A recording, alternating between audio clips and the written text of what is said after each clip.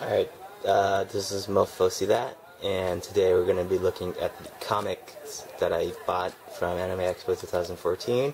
Sorry for the glare or bad light, I don't know why it looks dim in the camera, but there are two lights on.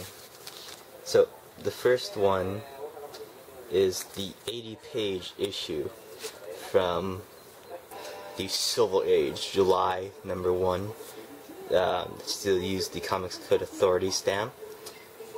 And from DC, the eight new heroes, who are they, what are they, and how will they ever succeed when the JLA failed? So this guy says, one side Superman, back off Batman, you can't save the Earth, but we can. Featuring SOS to Nowhere, a 51-page extravaganza starring 37 guest stars and 9 vile villains. So these are the 9 and so this is a really interesting issue. See, it's, bit, because it's a spectacular one. And then here we have the Marvel What If series, and here it was What If Archangel Fell from Grace. So It's a big. Then here's another What If, and it's also a giant size special it's What If the Fantastic Four's second child had lived? With two feature-length thrillers, and here it's from the 90s, so it's a 50-year celebration. Will she destroy the world, or, or will she save the world, or destroy it? This is another interesting issue. The other one, I bought a lot of Marvel What Ifs, I think they're always interesting. And so here, it is What If the Phoenix Had Not Died? And on the cover, it looks like instead of uh, Phoenix dying is Scott Cyclops dying, featuring the X-Men. You have the Watcher, Wolverine, some other guy. Then here, you have the 30th anniversary of the Fantastic Four, uh, 1961 to 1991, and Cap was 1941 through 1991. So these are uh, came out around the same time, same year. And here's another what if. The what if Cable had destroyed the X-Men, part 1 of 2. And unfortunately, I don't think I actually have the second part. Wish I would. And here's the 30th anniversary. This is a year later, from 1962 to 1992 for Spider-Man. I always collect like the first issue of the series or the first arc, because I think that's easier to get into and it's hard to try to find the ones after it unless they're part of the same pack. And here is when, ugh, when DC started doing year ones. And so this is year one of Metamorpho. This is the first issue out of the six. It's a miniseries. And it's part of the Countdown 30. Blue Dragon. Ah, that's an old one. And here, another Metamorpho, but this is the older one. This is part of the four issue miniseries. And this is number one. This is from 1993 by Waid, Nolan Boyd. The other one is by Jurgens and Depperdag. Let's see, yeah. This is Mortal Kombat. It's coming to not the arcades, but to the console. You have Raiden, Sub-Zero, Liu Kang, Johnny Cage, Sonya Blade, Kano, Goro, and Scorpion as the starting players. September 1993. Let's go. And here is the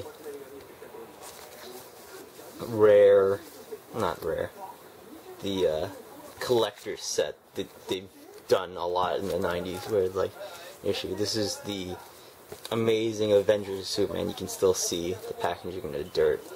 The Back from the Dead uh, series. The Man of Steel fights for his life.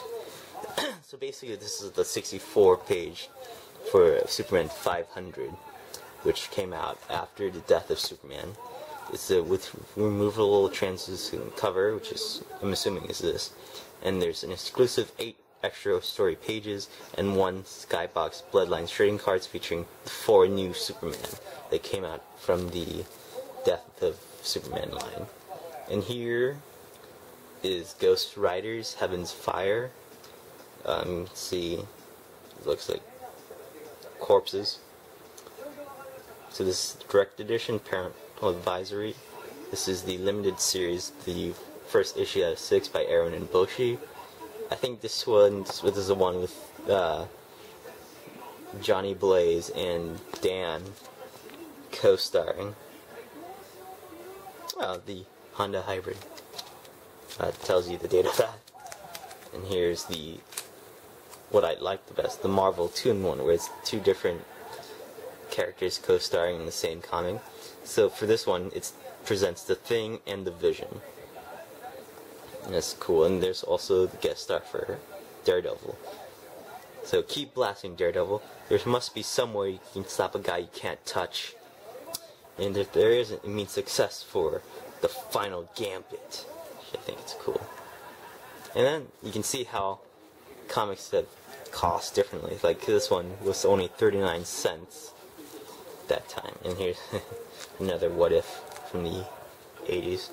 What if the Fantastic Five fought Doctor Doom and Annihilus? This is Timequake, part 1 of 5, 30th anniversary. This is the one of the few what if issues where there are multiple issues about the same storyline. So I thought this was awesome. And here, Terminator 2 Judgment Day on NES and Game Boy. By LJN.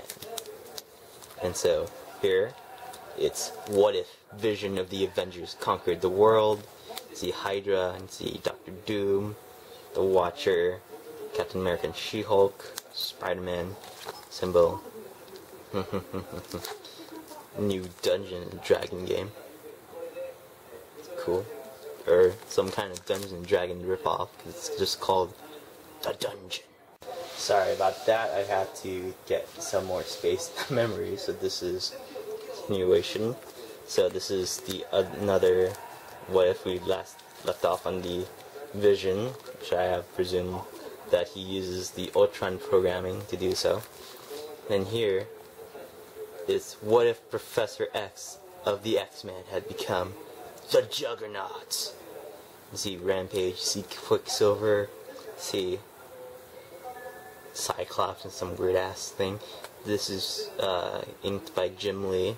So you have the Watcher, Professor X, and Magneto. And you have Iceman. And here, the Demon Sword. That's an old one. Oh. And so, this one was the if it has four different ones. So this one is, what if the Fantastic Four all had the same power? You see, all of them could go invisible, go through walls or something. It looks like this guy's going through walls. But if all of them became thing-like creatures, then actually this one kind of looks more like a swamp thing to me.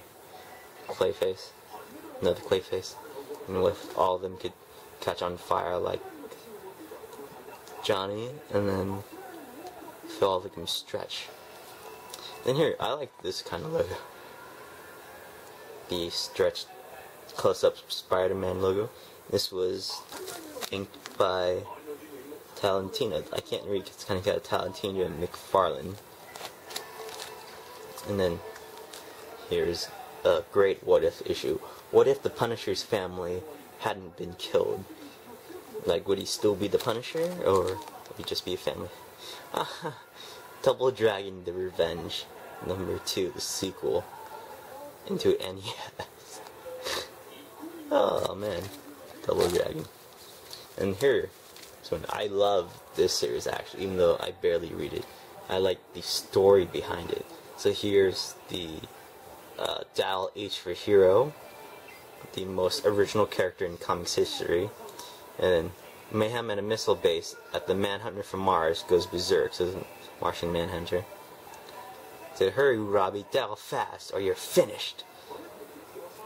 And so this is basically, for the younger generation this is basically the precursor to Ben 10. That's how you get the idea for the Omnitrix and stuff.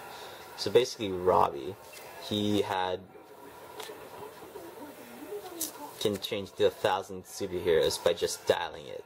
So if you want, I don't know, flame, you dial flame and then it goes on fire or something. And so I remember this one incarnation, it was an actual rotary telephone. I don't remember it being like this. Then I remember when it was split into two, where he's giving to the guy and girl. I think they were siblings or something. There's a trinket and then like a watch, and that's I think how it got Ben 10. Then the Doom Patrol, Silver Age version. The Get Out from Midway City, War of the Super Weapons. This is cool. July issue number one, the all new Adventures. The same thing for this one. This one's also July number one issue. So I think this is the one without Beast Boy alliteration, which is just the main four. And this one, when it cost 50 cents, and it had uh, prizes. Win a Toys R Us shopping spree. Grand prize minimum value 3,000 bucks. Details inside. This is another Marvel 2-in-1. This is the Thing and the Angel. It's another 2-in-1 that I get with the Thing in it. And so basically, it looks like the Fighting Knights by Simmons and Simons and Wilson. Angel is using his red, white, and yellow version of his suit. That's cool. And here you can see Olympic, earn famous, name prizes, or earn a dollar a box in cash. And there's a sample. And you can cut this out and basically um, send it to Connecticut and get one of these prizes or cash.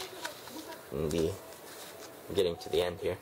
This is Showcase number 22, the first appearance of the Silver Age Lantern from the DC Silver Age Classics. Landmark events from the Silver Age of comics as they were originally presented, featuring three different Green Lantern adventures, with the cover from October, the featuring the menace of the runaway missile.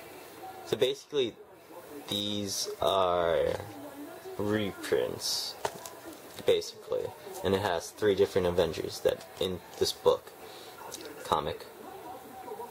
So I think these are nice to get people to go back to the origin stories and the early stories. Here's this one, which I like. Another all new number one issue from July.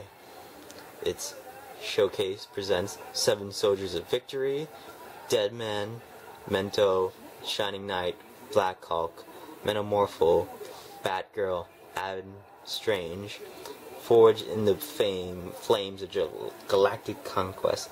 They are our planet's only hope against the Injustice League, which is Sinestro, Lex, Luthor, Catwoman, Doctor Light, Black Manta, among others. This is very nice and one of the only few ones I have that have an actual backing to them to keep from getting deformed. Okay, so this is my comics haul for this year, 2014. So, uh, I will see you for the rest of the playlist, um, and I'll see you for other reviews. So, see you guys later.